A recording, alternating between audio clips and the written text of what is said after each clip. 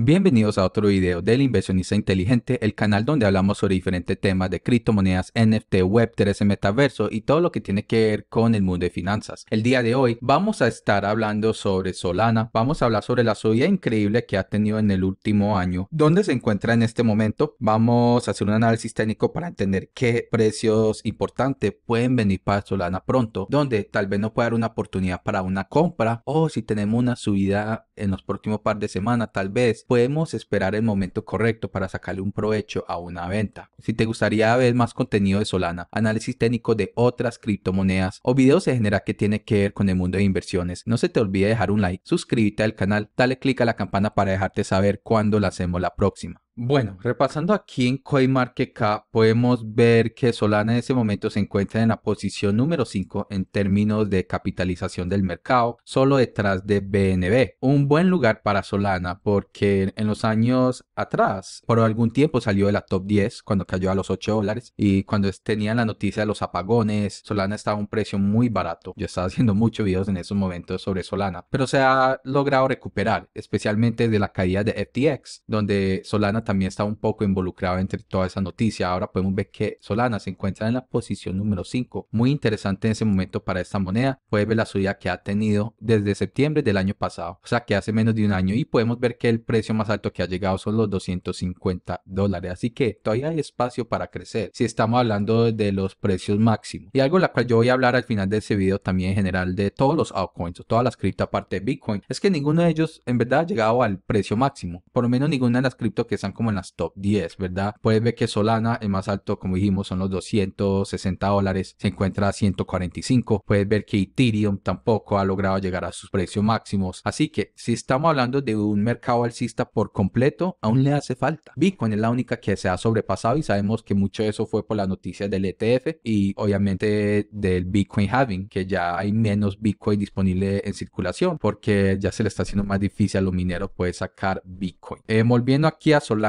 un momentico. Yo he estado en algunos proyectos de Solana, a varios de esos proyectos le ha ido bien con el tiempo por general, pero honestamente la razón que Solana ha subido mucho en el último año es por la misma razón que subió hace dos años. Es porque esta es la criptomoneda de los millonarios de los millonarios, ¿verdad? Ya hemos comprobado que muchas de las personas que tienen mayoría de Solana son esas empresas que están en Wall Street o son de esas empresas independientes que compran criptomonedas como un fondo. Así que por eso nosotros vemos mucha volatilidad de Solana. Entrando aquí un poquito más al gráfico, yo quiero hablar sobre estos niveles que yo tengo aquí posicionados, ¿verdad? En ese momento nos encontramos a 145, 150 dólares en ese rango. No está importante, pero si bajamos un poquito aquí a este precio aquí de 120 dólares, podemos ver que aquí hay un gran soporte, un gran nivel de liquidación, lo que usted lo quiera llamar. Pero cada vez que llega a este precio, rebota. Y usted tiene que ver esto con opinión de ambos lados. Porque no se significa que automáticamente Solana volverá rebotar acá. Si es un soporte,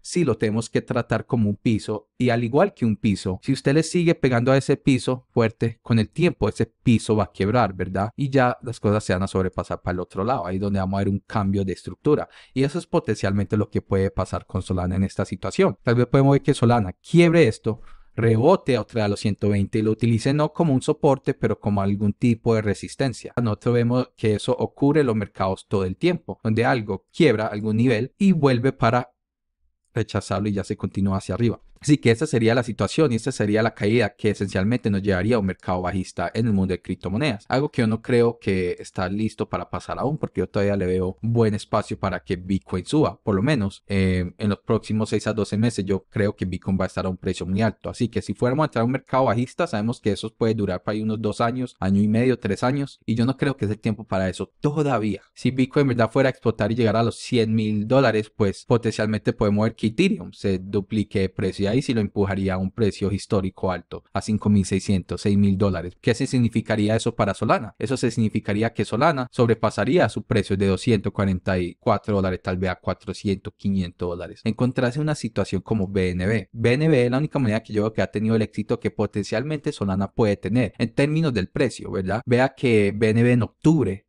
estaba a 200 dólares. Y yo le dije a muchas personas que debería comprar a 200 dólares si usted va y ve mis videos de BNB. Un precio muy barato para este proyecto, para uno de los exchanges o el exchange más grande de esta parte del mundo. Y puedes ver que en menos de un año BNB ya se encuentra a 500 dólares, pero volvió a subir a un pico de 724 dólares, sobrepasó el último pico. Así que esta puede ser la subida que puede ocurrir para Solana, de 150 tal vez a 500, 600 dólares y sostenerse para allá a los 400 dólares, que ya sería un nuevo nivel de soporte para Solana. Así que, vea, yo honestamente con el tiempo no era gran fan de comprar Solana, especialmente a estos precios. Yo era uno de los críticos más grandes de Solana antes de la caída que ocurrió hace dos años. Yo no era fan de los apagones, yo no era fan de la gente que tenía, no era fan de que ellos estaba en, el, en la hoja de balance de FTX de una manera no favorable. Entonces yo había apreciado esta caída, ¿verdad? Y yo aproveché de comprar Solana. Ahora, con el tiempo uno obviamente tiene que ver la situación por lo que es. Yo no creo que Solana vuelva a estos precios, esa noticia mal ocurrieron, tiene que ser un escándalo grande para que vuelva a llegar a esos precios, ¿verdad? Por lo tanto que a mí me gusta comprar bajo, es muy posible que el precio bajo nuevo para Solana sea los 120 dólares o que por lo menos sea alguno de esos niveles que ya hemos visto que también ha rechazado varias veces. Yo solo me puedo basar en lo que yo veo en el pasado y de lo que yo puedo entender con mis análisis o por aquí abajo a los 80 dólares, ¿verdad? Y lo que uno puede hacer es meter dos diferentes compras tener Solana. Yo tengo Solana que yo vendí un poquito más arriba y yo quiero volver a comprar. La idea era vender a un precio y comprar más tokens con el mismo dinero que yo vendí. subir mi posición en Solana. Así que yo tal vez voy a dividir mi dinero donde voy a comprar tal vez 60%, 40-60% voy a decidir a 120 dólares si llega a esta zona empieza a hacer un rechazo y voy a ahorrar el dinero para comprar a 80 dólares si tenemos otra caída, ¿verdad? Más o menos como para tener un apalancamiento ahí, tener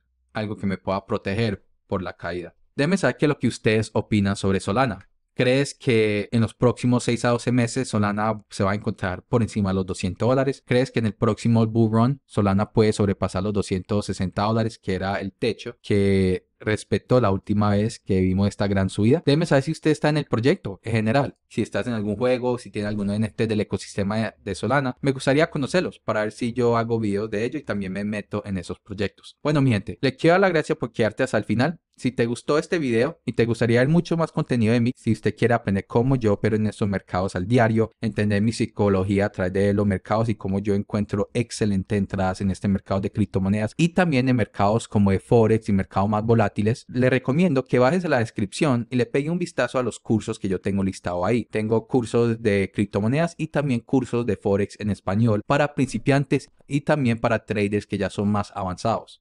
Todos estos cursos están publicados en Udemy, así que es una manera segura y barata para usted poder aprender qué es lo que yo hago todos los días. Bueno, mi gente, muchas gracias. No se te olvide dejar un like, suscríbete al canal, dale click a la campana para darte saber cuando lancemos la próxima.